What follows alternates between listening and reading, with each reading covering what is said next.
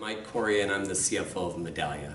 Well, another thing that is top of mind, just uh, for a minute in our space, this uh, customer experience. Uh, what, what, what's very interesting as a finance person is if you think about it, we're very devoted to all the obvious things like you know getting the books closed, getting them dead accurate, uh, very much understanding uh, what's happening with recent pronouncements from an accounting standpoint, regulatory changes, disclosure rule changes, risk factoring, all of those kinds of things that you need to do in your in your regulatory filings, your financial filings, whatever. But if you think about it, all of that is by definition backward looking. Super crucial. It's it's our day job. It's what we do. But if you really think about it, it's it, it's not. There's no prognostic value in that.